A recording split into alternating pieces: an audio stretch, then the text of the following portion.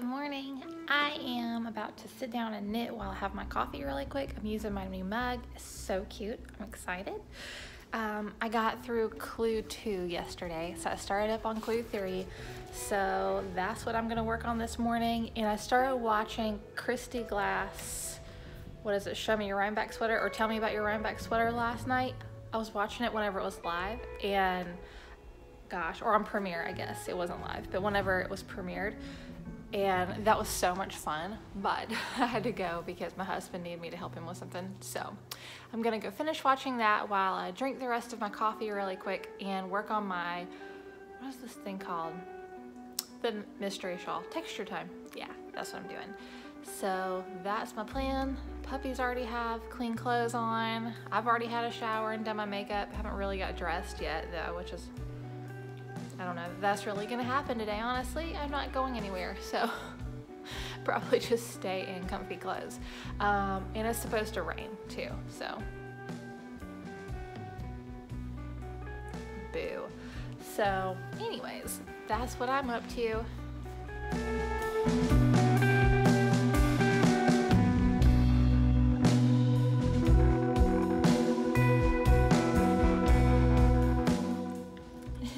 Outfit is so funny. He has Scully pantsuit and then he has a Scully hoodie that has a mohawk. So he is just really dressed funny today. We're gonna go try to walk. I don't know that it's gonna work because I think it might be raining. It smells like snow. This is crazy. Okay, I've gotta go bring my lemon tree in as soon as he and I get back.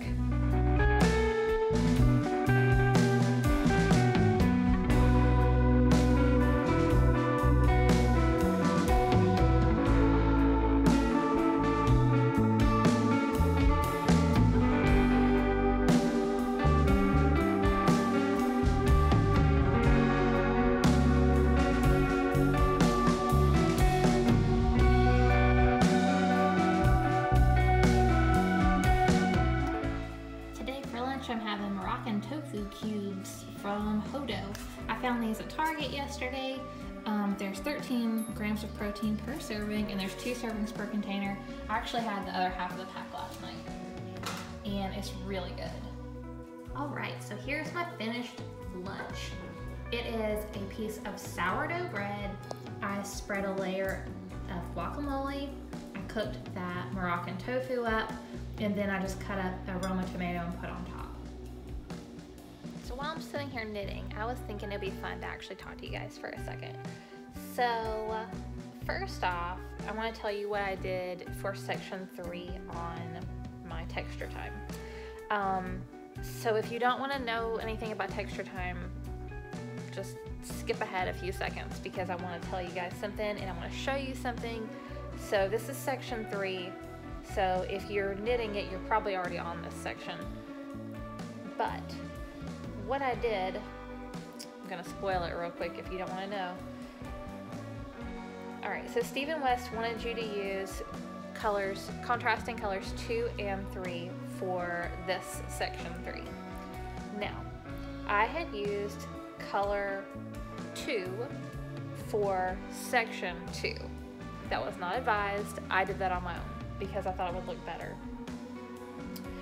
And then in this section, basically I was gonna use my two darker colors and that looked ridiculous. so I frogged it. So what I ended up doing, so just for reference, section one is this part with a brioche. It has all the colors. Section two is this. And it has my lightest color, which if you were actually following the instructions like it said, this should have been like a mohair section. I don't do mohair because it's too humid, so did this. Stringy bits, but you get the point. And then my main color is this um, rusty color, which is right here. So main color, and then it said to use whatever your your contrasting color that had the highest contrast to your main color. So I picked this green, which was, I think it's called Weekender from Madtosh. I don't know for sure. Anyway, I picked that. Then for this section, you were supposed to use the other two colors you haven't used in this section. And the problem was I had this blue, which was really pretty blue. And then I had one that was really dark and I don't have the skein with me, so I can't show you, but it was this very, very dark one that had this. It has dark, dark blue, it has red in it, has a lot of like darker colors. And I started knitting that and I just felt like it was too high contrast for me personally from all this. So what I ended up doing was opening up a whole entire skein of yarn because I have a yarn shop and I can do that. So I ended up picking this. So this is the 750 from Train Track Fiber Designs. It's just a neutral color with black speckles, which I felt like that brought in the dark that I needed because I needed something to kind of tie in this middle section. Which way does this thing go? Hold on. All right. Yeah, I needed something that had some darker to tie in this to this over here. But I just felt like that if I did that really dark one, it was gonna look ridiculous and this part wasn't gonna look good. I've seen some that I think look so good and others I'm just like, I don't know. I don't, I feel like, I mean, it's personal preference completely. So it's not, it's not about like, no offense, but it's not about that. It's just personal preference and what you think will be wearable. So I felt it would be more wearable if I kind of made this be sort of a mix of this and this rather than just jumping straight to dark. So that's what I did. And I'm really happy with it. I love how this one color is mixing in there. I think it's really nice. And I don't know if you guys can tell, but this is like squiggles and braids. And then this part is just waves up here. And it has the typical feather and fan situation up here. And I think the reason that he did that for section three is because, of course, whenever it was released, that was Rhinebeck Weekends section. And so I think that was really good for travel knitting for people just because it's so easy. It's like, what, a 10? It's like a 10-ish row repeat and it's very easy to memorize and there's not really, you know, you don't really have to pay attention with that. Um, so I think that's why that is this section. But now my dilemma. I I'm excited about this and I like it a lot and it is neutral so I think I'll get a lot of use out of it.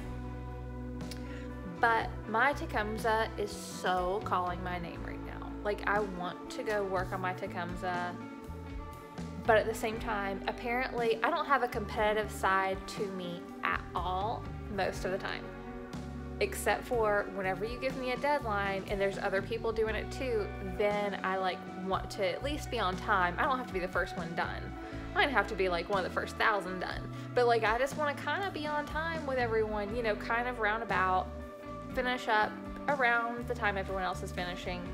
Um, I don't want to be dead last. so it's killing me in a way not to go work on Tecumseh because I want to, but at the same time, that little competitive part of me, I'm like, well, I just want to finish it so that I can be done with everyone else. And also, I don't want to see spoilers of Clue 4 until I'm ready to see Clue 4. And it's so hard scrolling on the internet and also on Instagram and stuff because people put up spoilers and they don't warn you. So you're like, you know, you don't I, I, am almost afraid. Up until yesterday, I was almost afraid to go on Instagram because I wasn't up to section three and I didn't want to see it. So right now, I'm like, okay, cool, I can go on there. But then as soon as midnight hits and people start posting, you know, because I don't know what's going to be. It might be something very easy. I know last year with Speckle and Pop, the last little thing was basically I want to say it was a bind off was clue four. I want to say clue four was like pick up and knit like I cord around the whole entire thing or something. It was like not really anything that took time. So people could finish it like that night, basically, if they were, you know, wanting to. So I'm almost afraid to go on Instagram after tonight because I don't want to see something I don't want to, you know, I don't want to see what I don't want to see.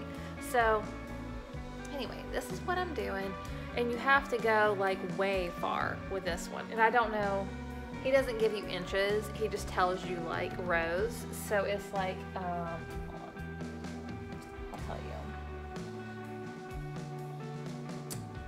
Yeah, 100, 154 rows. I'm on row, uh, I'm on row 50 right now. So I have another 100 in. 104, yeah, 104 rows. So it'll be, what, three times? Yeah, it'll be two times bigger than this. So that plus whatever. So what is that, three times? Anyway, whatever, it'll be bigger. And then you have to do it again on the other side. So, yeah. Basically, I don't know. I don't know. Like, now I started this last night at like six o'clock, so I've actually done really well because this four, I think now. And I only knit on it for like maybe two hours last night, about 30 minutes this morning, and then maybe collectively, maybe collectively like an hour today. So probably three hours of knitting. So anyways, but yeah. So I just wanted to show you guys that and talk about it and basically just share what I'm feeling about it. Um, today's video is kind of light in content, so that's why you're getting me rambling about a project for so long. But I think most of you who are watching this are knitters, so you totally understand. Um, leave a comment and let me know if you're knitting this too. I would love to know if anyone else is making it that's actually watching me. So I'm gonna go work on this for a little while. I don't know that I'll have time to pop back in later on this afternoon. What I will do is before I go tonight, before I go to bed, I'll actually insert some footage of what I've got done so that you guys can see. So anyways, if I don't see you guys later, thank you for watching and I hope you have an awesome day and I will see you tomorrow. Bye!